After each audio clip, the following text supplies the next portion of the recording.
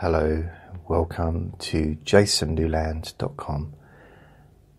My name is Jason Newland, and this is relaxation hypnosis for stress, anxiety, and panic attacks.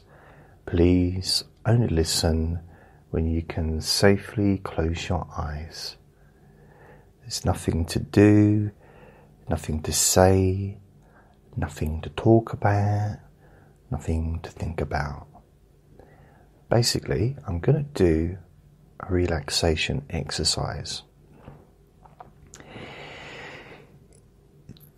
This is kind of like a meditation y kind of thing where you get in touch with how you feel, but you can. I'm going to say out loud how I'm feeling. It's only a very short exercise, or I don't. Yeah, the word exercise doesn't always sound nice, does it? Sounds like you're going to have to do something you don't want to do. It's very basically getting in touch with how you feel, but not physically, emotionally. Okay, so we're not really going to focus on our bodies as such, although how we feel emotionally does affect how we feel physically. Sometimes, maybe, all the time, maybe, depends. So, we're going to get in touch with how you feel emotionally right now. And there's something about actually addressing it, about actually just noticing how you feel. Not really judging it, not commenting on it, not uh, you know having a go at yourself for it. You know, like I am feeling this way, but I should feel differently, or you know that kind of stuff. No, none of that crap that may go on inside our heads. None of that kind of just put downs, really, isn't it? Sometimes it can feel a bit like a put down. Why would we do it to ourselves when it's much more fun to do it to other people? I'm joking. But why would we do it to ourselves? I mean, you think about it. When someone, someone puts you down, and I, we've all been put down, had a put down by someone, um, said something about our haircut or uh, it could it could be absolutely anything. I mean, I remember years ago at school, I had these new shoes that my mum bought me, and I liked them because they made me about two inches taller. But uh, when I got to school, I got everyone started calling me Beetle Crusher because they they could hear me for a mile off walking like like Frankenstein's boots. Honestly, just, and there was nothing wrong with my feet or anything. It was just, I'll be honest, I chose them. You know, I wanted to be taller, and it's not really relevant to this recording, but just needed to tell someone about it. so it could be a put down the first time I wore glasses and went to school. This was in like the last year of school, literally just uh, like a month or so before I left school. People were laughing at me because they'd never seen me with glasses before. And I got a little bit, you know, something, sometimes it's a repetition that gets annoying so if someone someone says something, even if it's funny the first time, like you know, um, I can't think of anything particularly, but oh, there was yeah, it was a security guard. Now, I when I was a security guard on a building site back in 1997, there was this big bloke, and he worked on the building site, and they were doing the uh, what was it the the Opera House in Covent Garden. They were building a new Opera House. And he kept calling me, what did he call? Oh, yeah, uh, Mr. PD File. He, he found it funny calling me PD File. And it, giggled, it, it just tickled his anus completely, just couldn't stop doing it. The thing is, when he first said it, yeah, yeah, yeah very funny, yeah. PD, PD, yeah, PD, although it's not a nice thing to call someone, but he seemed to find it funny, and I thought, okay, well, I'll just let it go. Kept doing it, kept saying it. In the end, I had to go at him, and I said, just shut, shut up. I don't want to hear you say that to me again. And he, he shut up after that. And shortly afterwards, I was moved from that site to somewhere else. So uh, they probably complained about me. But I'm wondering how often, how much do we notice it when we do it to ourselves? Because if we got annoyed with ourselves, if we were constantly putting ourselves down and saying, "Oh, you're no good at that," "I'm no good at this," uh, "I'm never going to be any good at this," uh, "I don't deserve to be happy," "I don't deserve to be in a relationship," or "I'm never, I'm always going to be stressed," "I'm never going to be able to relax," and to have that crappiness, those those words being said to ourselves, because it almost feels like it's someone else saying it sometimes, doesn't it? And instead of doing what we would do in real life, which would be the best case scenario, would probably be to avoid the person if someone was saying it, but at some point just to say, shut your mouth or stop it. Don't want to hear it no more. Or put them down, you know, uh, find a way to make them look ridiculous, which is quite easy in most situations. But why don't we do that to ourselves? Maybe you do. But I seem to find that for some reason, and I and it's it doesn't make sense really that I seem to accept that negativity. I'm trying not to. I'm, I'm working on it. I think work in progress is the uh, the term I think, but why wouldn't it be useful to be able to say, "Oi, that's enough of that crap." Well, I'm too fat to, for someone to like me. I'm I'm never gonna some of the stuff that I probably say to myself, possibly. And I don't deserve to be successful. I don't. No one, no one likes what I do. No one likes these recordings. That's just the sort of stuff that I say in my head. But it's not me. It doesn't feel like it's me saying it.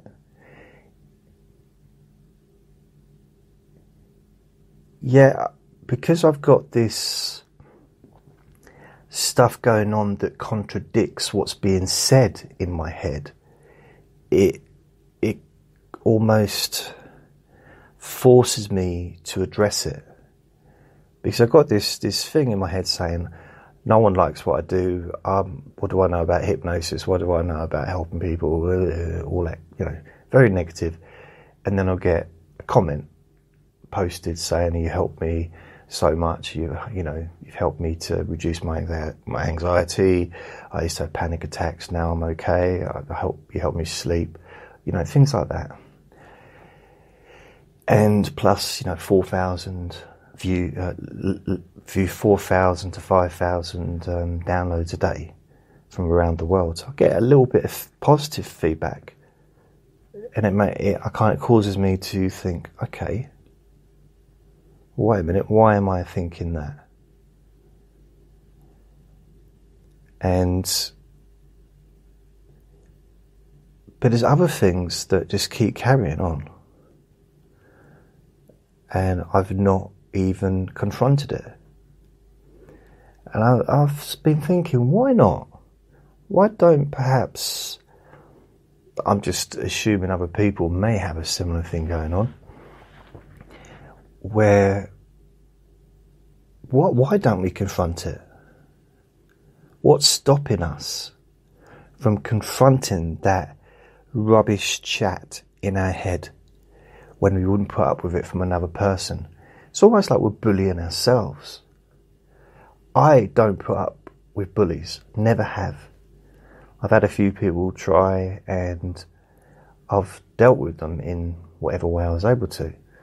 I had it with a job once and I ended up just left the job because there was nothing else I could do. So I left the job. So it's. But I don't put up with bullies. I won't. Yeah, I put up with my own bully that's walking around inside my head. Well, I don't know if it's walking around, it's probably just sitting there smoking drugs or something, but some of the stuff it comes up with. But it's a bully. It's picking on me. And I wouldn't put up with that in reality. You know, I might have to walk away from the situation. I'm not saying that I'd go full on, head on, you know, punch up situation, you know, because that's not always, that's not really applicable, is it, in um, as an adult?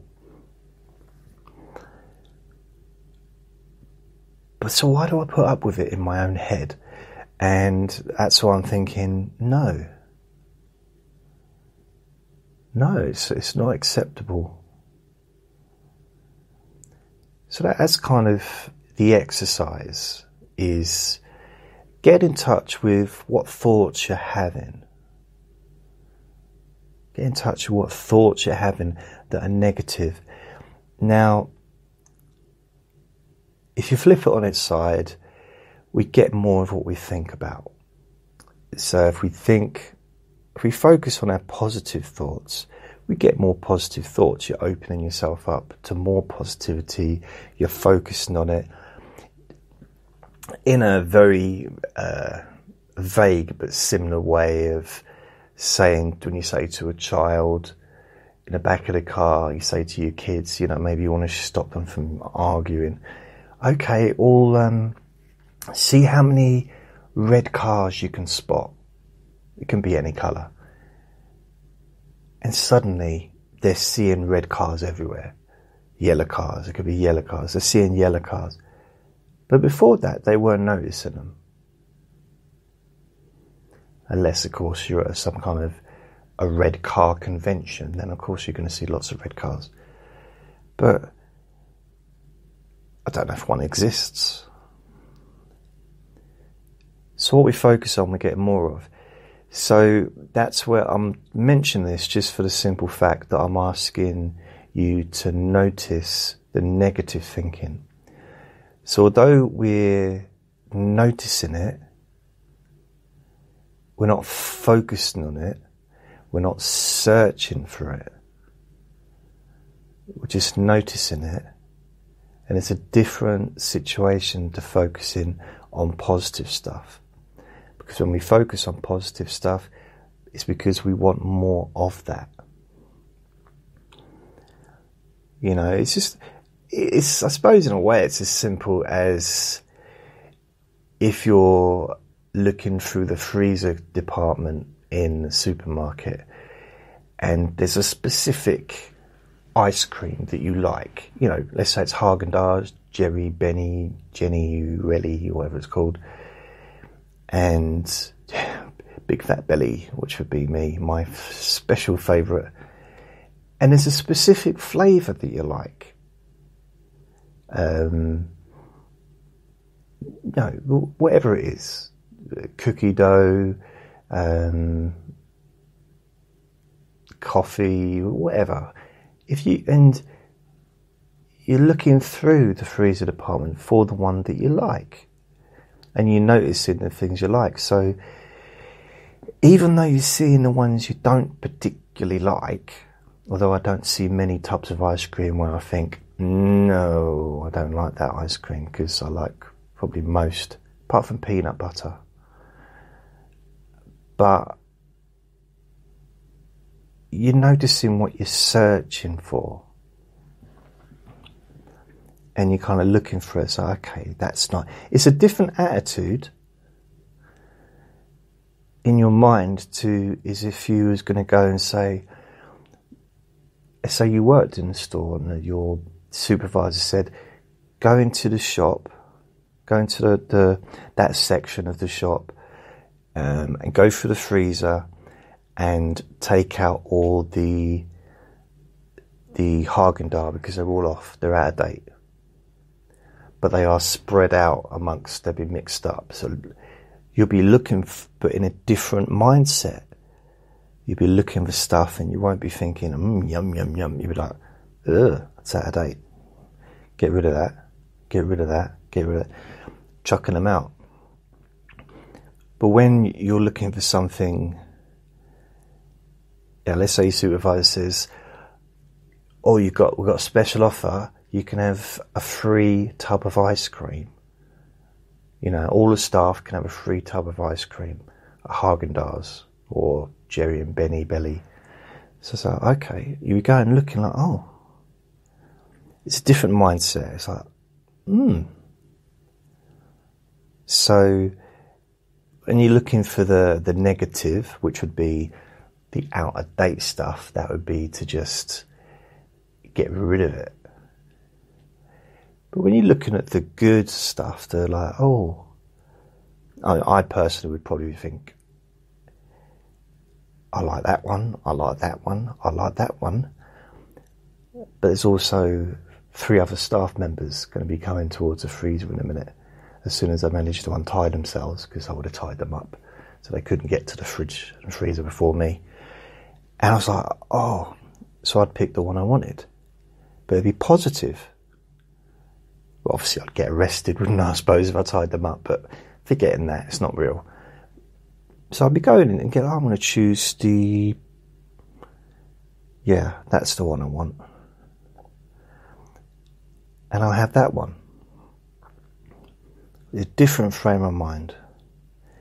So the reason I'm mentioning this, and I'm using the ice cream as an analogy, and it's made me want to have some ice cream now. So it probably wasn't a good idea, but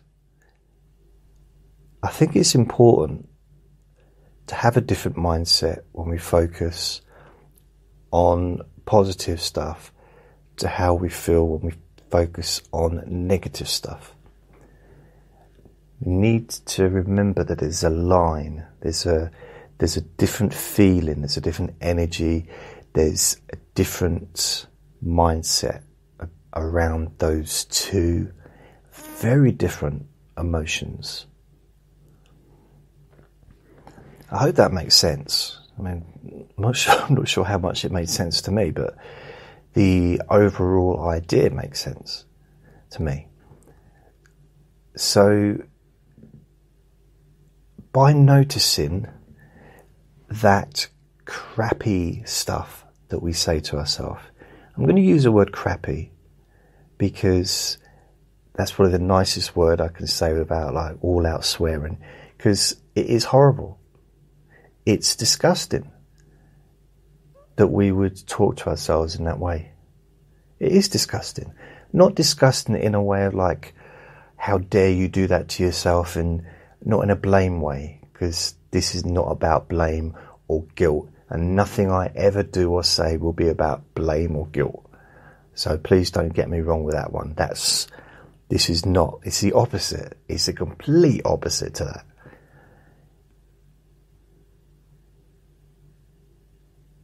But to talk to yourself and to have that voice is horrible. It's someone bullying you.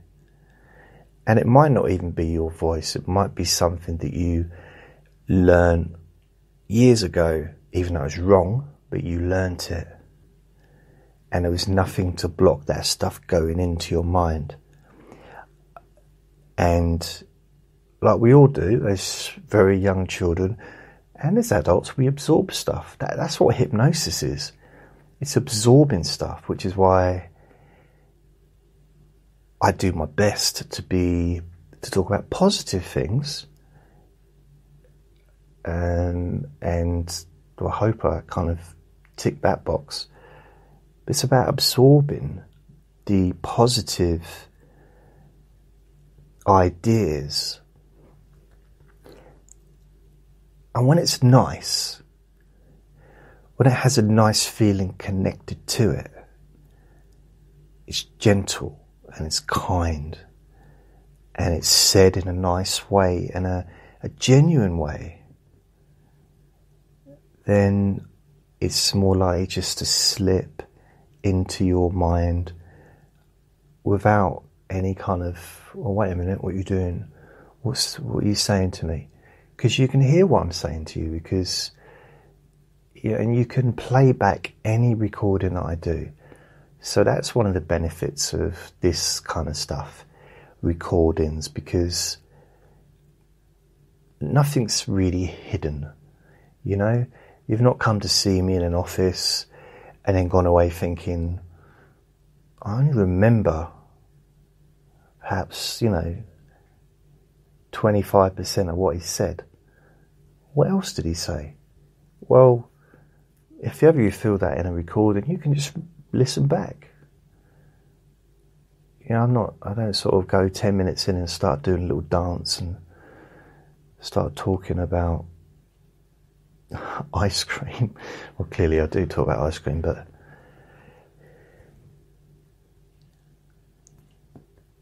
gentleness, the point about gentleness. When something's gentle, it slips into your mind it has, it spreads, you know, it's like seeds and it grows because your mind is fertile ground. There's nothing more fertile than your mind. That's a brilliant thing, and it's also there's a negative aspect to that is if you have seeds, let's say poisonous seeds, you know, like poisonous mushrooms have, you know, they've all got the the roots to those that start growing, you know, so you've got seeds that can be poisonous, grown to something poisonous. That stuff will also grow because you've got a really, really fertile mind. It's, the, it's more fertile than any ground on earth.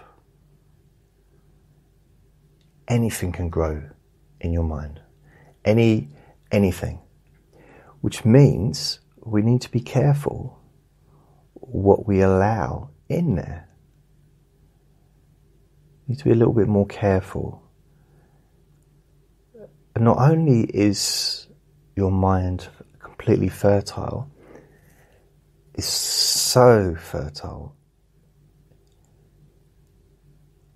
Also, unlike with a, uh, you know, I've never worked on a farm, but I've seen a few documentaries.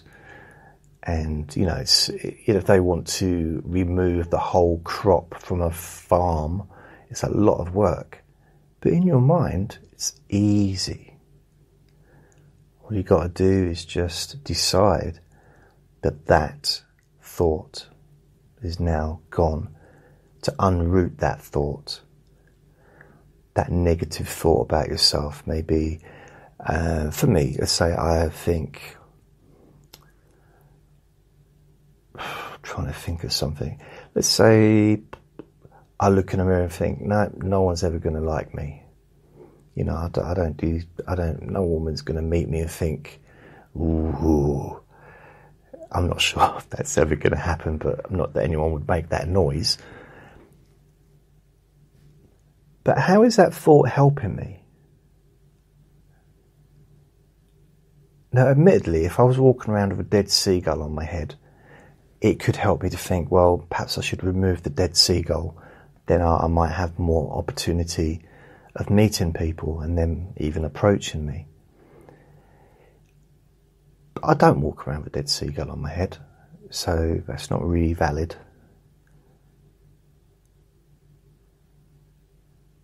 So what I can do in my mind, I can think, well, where is that?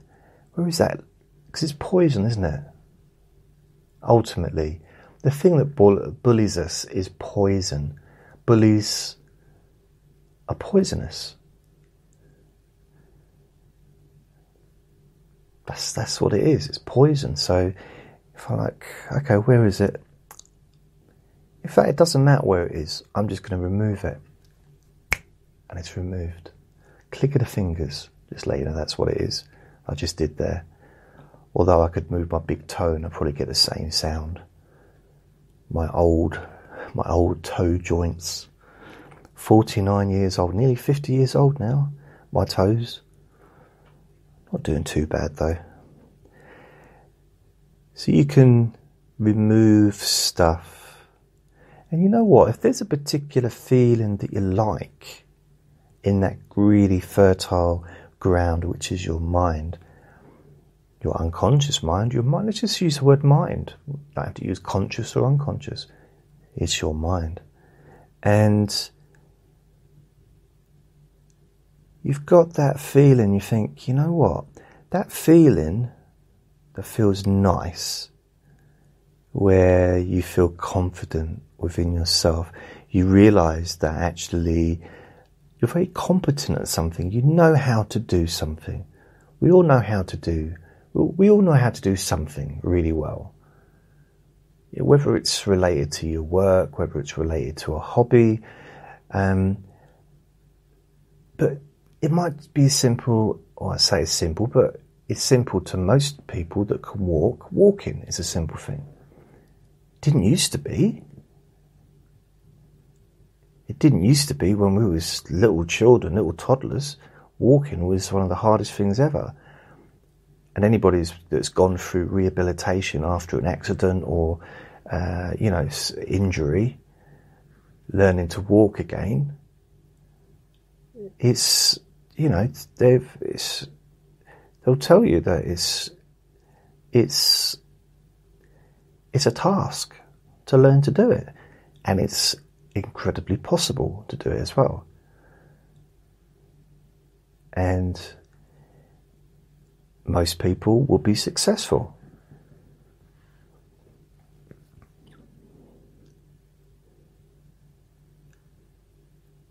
Yet most of us would just walk around without any idea that what we're doing is pretty amazing. We're experts at that. Most of us are experts at eating, feeding ourselves, going to the toilet. And these things, you know, for a lot of people just think, well, so what are you, what are you talking about? I've been listening to you for 28 minutes and now you're talk, telling me that I'm I'm really clever because I can wipe my own bum. No, that's not what I'm saying. I suppose it is kind of what I was saying, but it's not really about that. It's the fact that we're all really good at stuff. And that part of our brain which says that we're not is lying to us.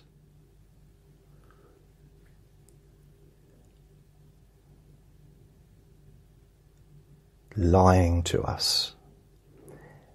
And is that acceptable to you? It's not acceptable to me. It's not. It's not acceptable that you're doing it or that I'm doing it.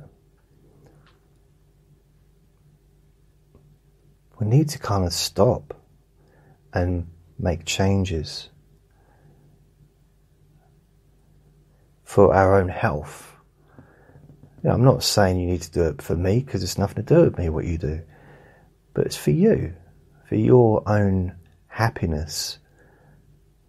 Start to notice when are you bullying? When is that bullying voice coming in? When what's it saying to you that what limited thinking is happening?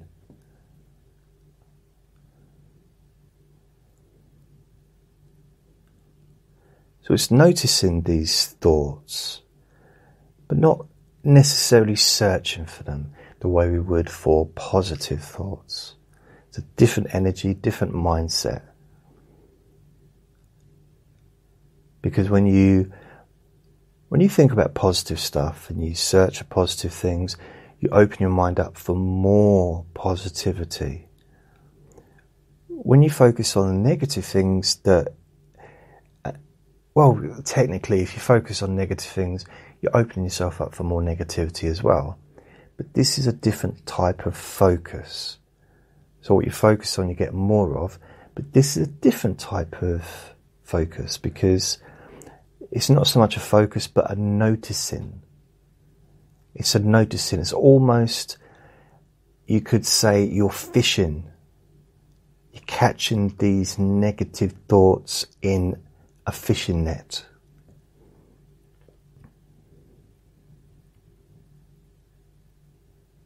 You're catching the negative thoughts in a fishing net that's always out there. So imagine you've got these nets and they're always there ready to catch those negative thoughts.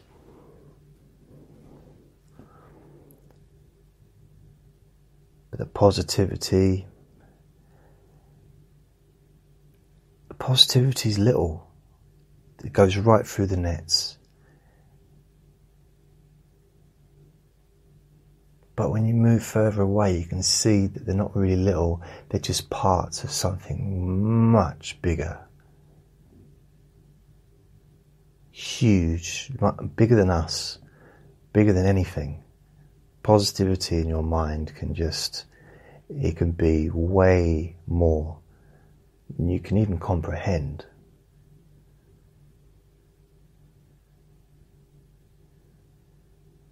you might see the tip of the iceberg. You might see, oh, it's positive. That feels nice. But the more you focus on that positivity, which is connected to all other positive thinking and feelings, because they're all connected. The negativities, they almost want to be on their own. They think they're like special, you know, which is how they get caught in the net because they're like, oh, because they're bullies. They're bullies, like, oh, I can do what I want to do. I can say what I want to say. Ooh. But then they get caught in the net because they're not very clever, to be fair. Bullies are not very clever. So, because if it was clever, it wouldn't be picking on you because you're way, way cleverer than any negative thought. There's more to you than any of that stuff.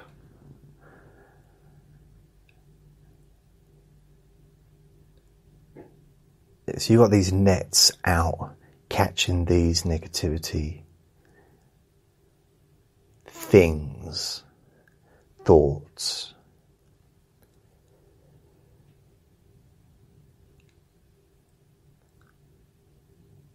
The thing is, once they get caught in the net, they lose that energy that they had.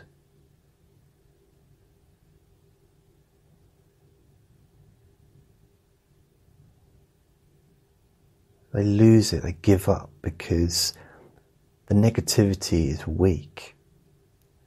It gives up. It thinks it, it likes to act strong, but it feeds off other people's fear. But once that fear's not there, it can't eat, it can't feed, and it dies. That negativity just dies. It literally dissolves.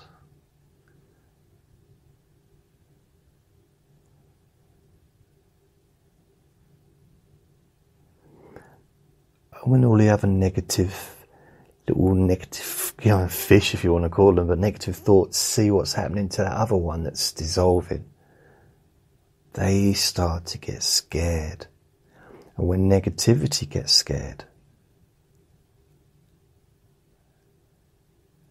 that's when changes really happen. It's like a ripple effect. And that message gets sent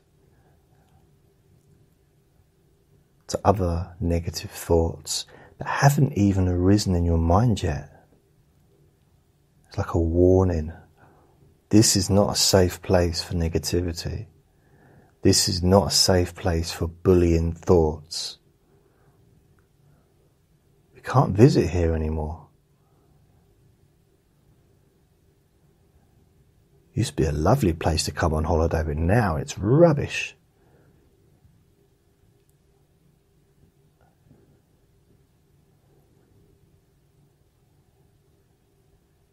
you start to feel different.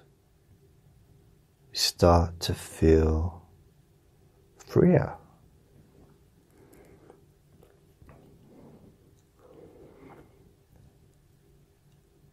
And it, it might not even make any sense. Like, how, why would I feel different and freer when this man's talking on a podcast about ice cream and fish and fishing nets and all that. What's all that about? Yeah. I feel different. You feel different. And that's the power of your mind. That's the strength of your positive thoughts. Because you think about it, in reality, we are born positive. We are. We are born positive. If you get into, well, just look at a little baby when it wants something. When that baby, if you got, a, you might be a, a parent or grandparent, and you might have a baby that's not very old, six months old, maybe even. When that baby wants your mobile phone, that baby wants your mobile phone. And he or she ain't going to give up. They want your phone. A toddler, that toddler wants to walk, no child yet, I think, in the history of the world that I know of has ever given up trying to walk. There's not one adult or one teenager in a wheelchair because they're lazy, because they gave up trying to walk. They're in a wheelchair because they can't walk, or you know, obviously there's a real reason for it.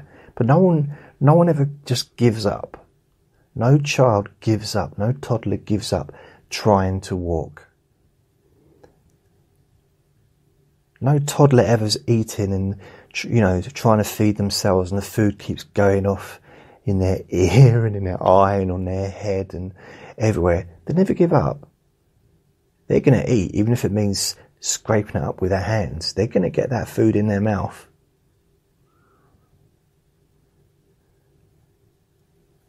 So we're born positive. We learn negativity. We're, we are born positive.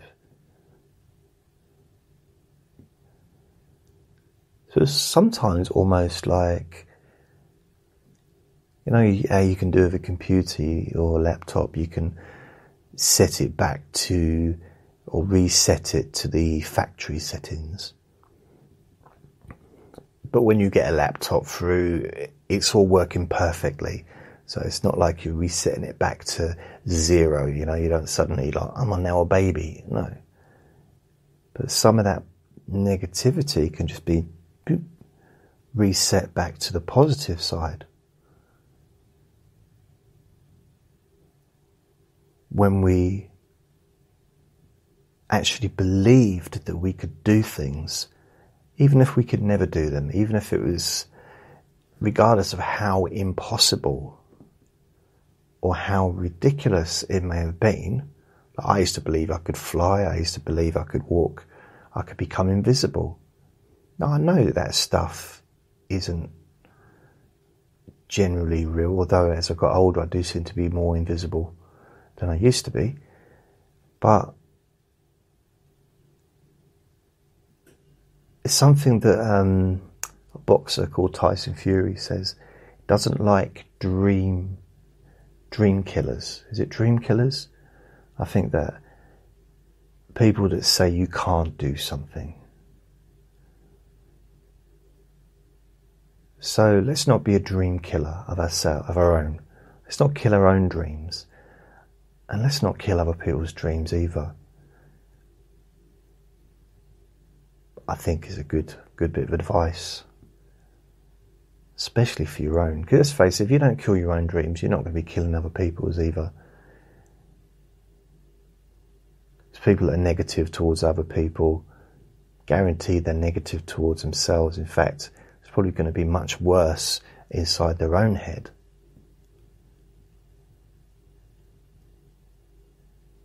But it doesn't mean that people that, you know, there's a lot of people that would not be negative towards other people, but still have that negativity in their own head. Can dissolve, as I said, with the those nets that you got cast. And the good thing about it is you haven't got to check the nets because the nets have now been cast. They're there to catch the negative thoughts. If you want to have a look at them, you can. You haven't got to search for them. Because the things worth searching for are the positive thoughts.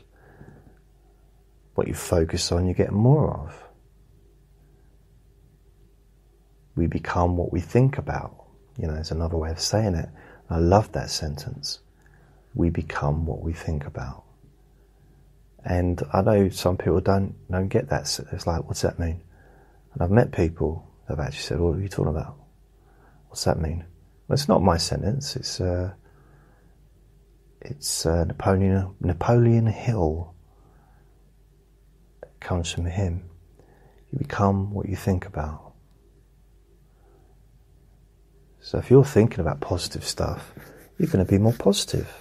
That's the simple, simple way to explain it. And if you think of lots of negative, then you know the opposite happens. So if you think about how relaxed you're going to be tomorrow, what a great night's sleep you're going to have tonight, or whenever you go to sleep how much more comfortable you will feel within your own skin, how much calmer, how much more optimistic you're going to feel towards the future. And you're going to get more of that. And you become that. And I've possibly not said anything that I haven't said before. But I do like I do like the idea that we are born positive. I remember my little brother, right?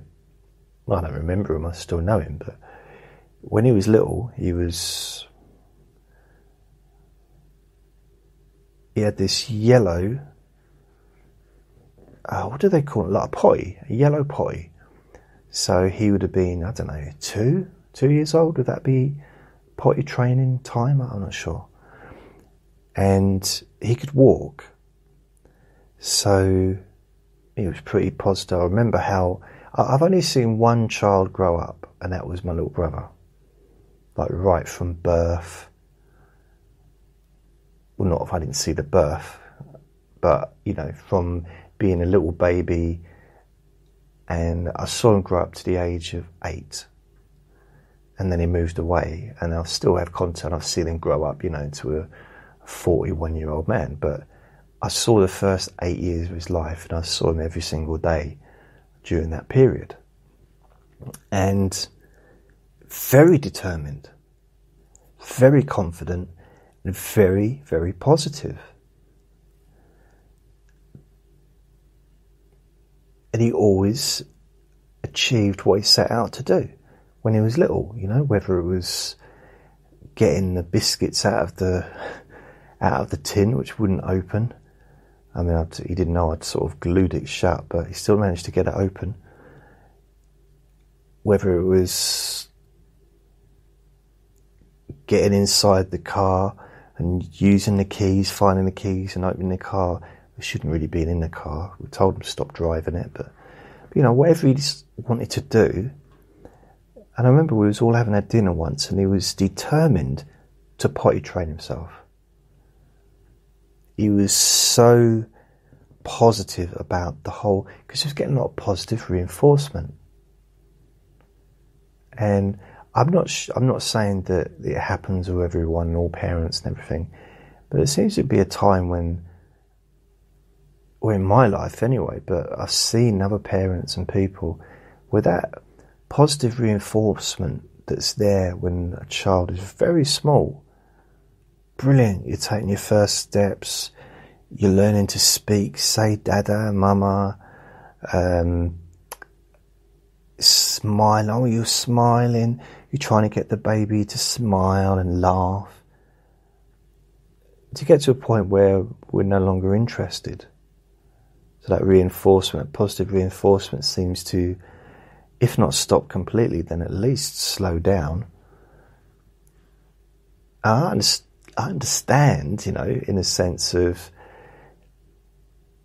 you're, you know, you're not going to be going to going to your your child's during their exams, doing their GCSEs or you know whatever 16 year olds take. And you're not going to be going, standing behind them, go on, Bobby, you can do the next one, you can do that next question. That's it, remember? Yeah, that's it, right. Now hold the pen in your right hand, that's it. Move, that's it, sit, sit straight. That's really, you, you can do that. You know, of course, we not, can't do that necessarily. But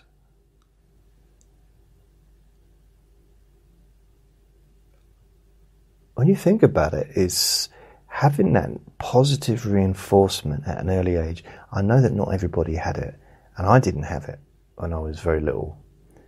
So,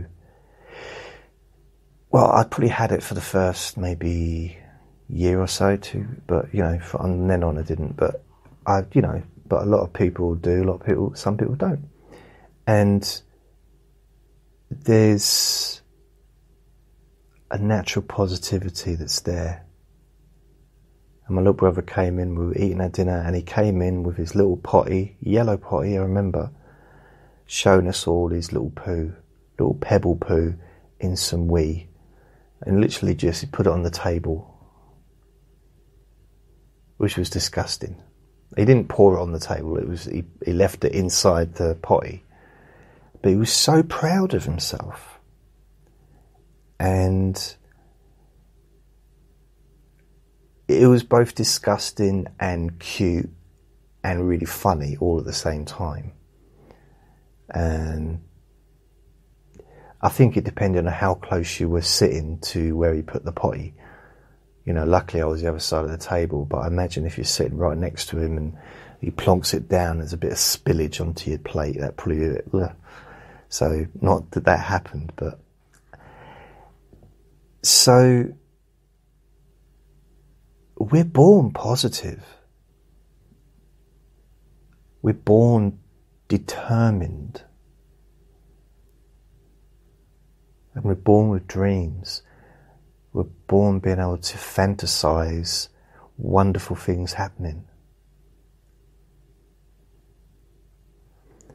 So these are things that we have ingrained in us we're always going to have them. We're always going to be able to imagine wonderful things happening. always going to be able to imagine positive scenarios. always going to be able to be positive towards ourselves. It's there. It's like breathing. It's there. We're born with that ability.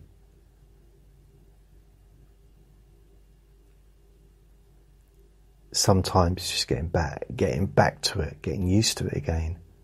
I suppose it could be a little bit like someone from. I had a friend that was from Germany, and she's born in Germany, lived Germany all her life, and then came to London in uh, her early twenties. She knew English. She, she spoke English brilliantly. But she said she'd go back to Germany probably two twice, twice a year, summer and Christmas, maybe three times a year, because it's easy to go there for the weekend.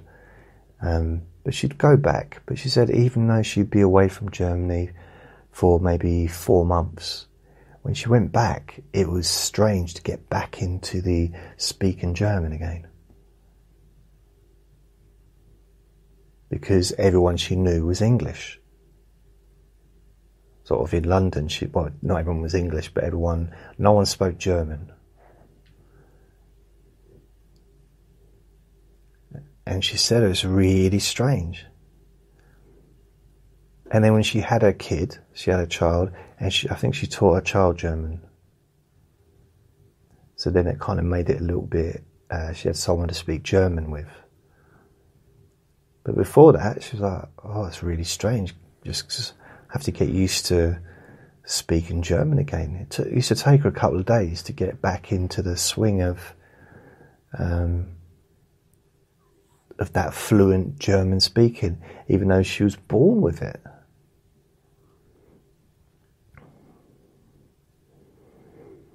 So imagine someone that doesn't that move away, don't speak German to anyone for ten years.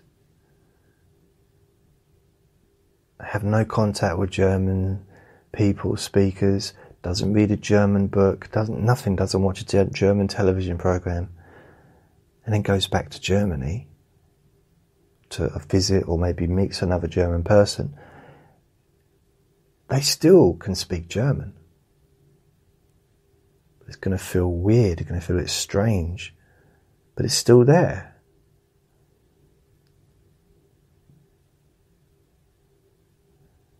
I'm, fo- I'm not focusing on Germany for any other reason other than that's my friend who's from Germany. It could be the same if you were from Italy or you know wherever. I had a, another, I had a girlfriend that was from, she was half Italian, um, only her right side, and she would her dad was Italian, her mum was something else, and she used to go to Italy all through her childhood for the whole summer, every summer. So she could speak Italian fluidly or fluently. But she said to me, you know, whenever she went back, every summer she'd go back and because they spoke English in the household generally. I think her dad would speak Italian to her. Did I say Spanish or Italian? She was from Italian. She was an Italian heritage. Uh, well, her dad was heritage. her dad was Italian, I mean. And where are you from? I'm from heritage. And she said it took her a while to get back to it.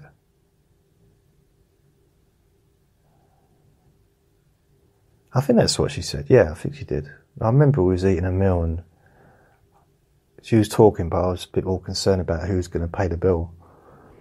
And she did, thankfully. That's a problem, you know, when you order something, it's like, that's, that looks nice. But it's all in a different um, language, just go by the picture. So she managed to get back to it, and just like someone that's lost the use of their legs temporarily or the use of a limb, they learn how to use that part of their body again. It's just in the same way muscle memory someone that hasn't done martial arts maybe for five, ten years, and they go back into it, and just, they remember how to punch and how to kick. It Might take a while, but they start to get back into the groove. It's like the groove was already there, but it's a little bit overgrown. But they can just maybe a bit dusty, a bit filled in with dirt, and they can clean it out, clean out that groove, and they can fit right back into it again. Everything fits together perfectly. So we're born positive. That's going to be the title of this recording, I think. Although I've talked about the bullying, I've talked about the negative thoughts, I'm going to call this We Were Born Positive. We are all born positive.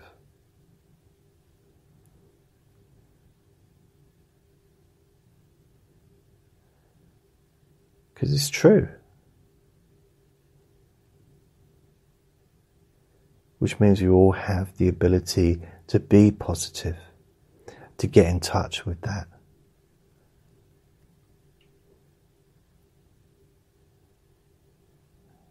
Get in touch with that feeling.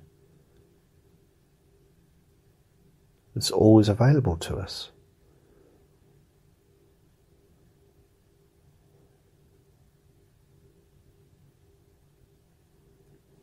And we get more of what we focus on.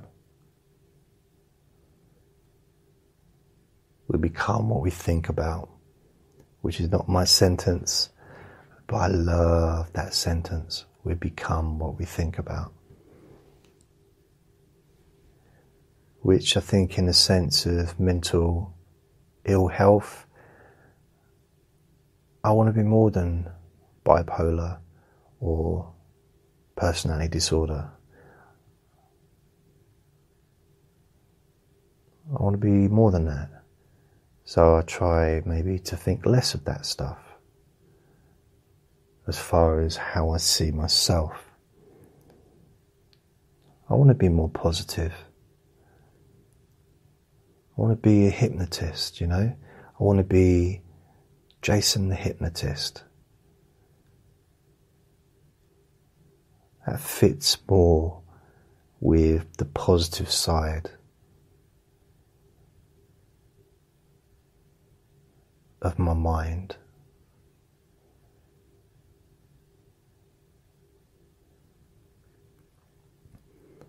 Jason, who helps people. Jason that loves his little boy, the ferret, Andre. Yeah.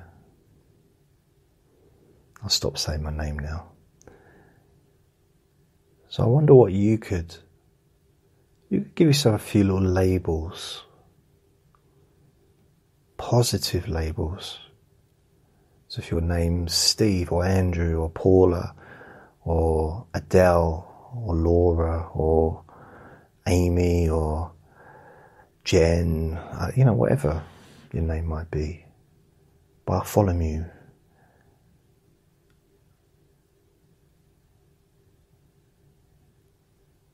a few little positive, positive labels.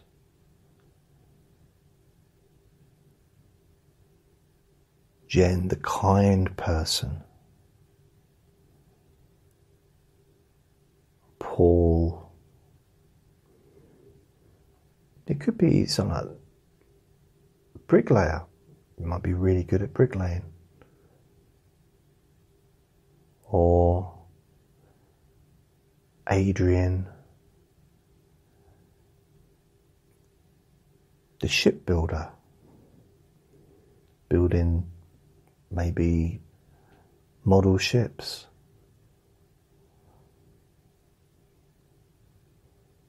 Or Robert, the dancer. And this isn't just one label, that's, that's all you are. Let's face it. Well, let's face it. If we're going to give ourselves labels, and we do, we do, we all do it. We all give ourselves labels. We give other people labels probably as well, and other people try to give us labels. So if we're going to have a label, why not choose our own labels and only choose positive ones? Because when you say, if I say Jason the hypnotist, that's not all I am.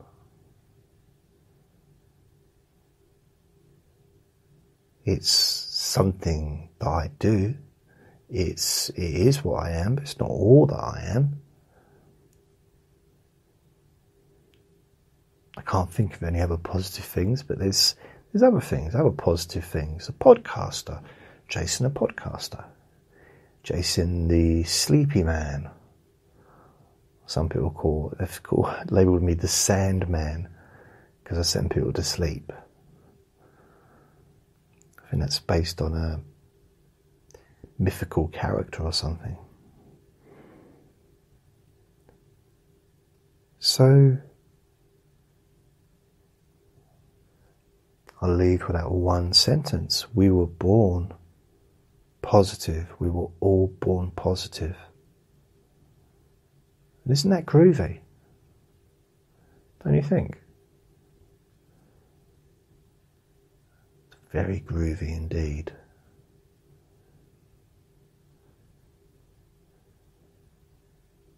You try and find another hypnotist that used this word groovy in a recording, you won't find it anywhere. Groovy. Because you're groovy. We're all groovy. Because we all have that positivity inside us available to use at any time.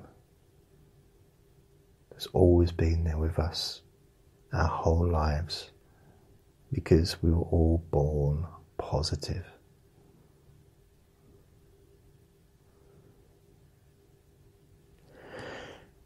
So that is the end of this recording. So I did start off saying it's an exercise, but it is kind of, you know, you just sort of go along with what I was saying. And maybe maybe listen to this a few times to cement the idea even more in your mind. But then every recording that you listen to from me will always add something more and hopefully increase your level of positivity towards yourself, which in turn increases your physical and emotional comfort and your ability to relax deeper, to sleep better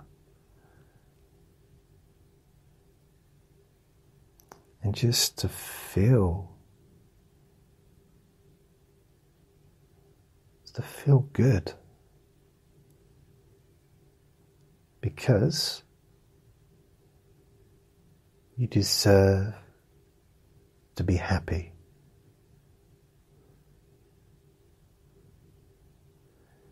So remember to be kind to yourself.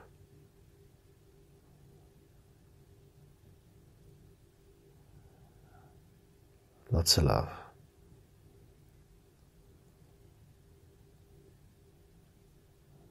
Bye.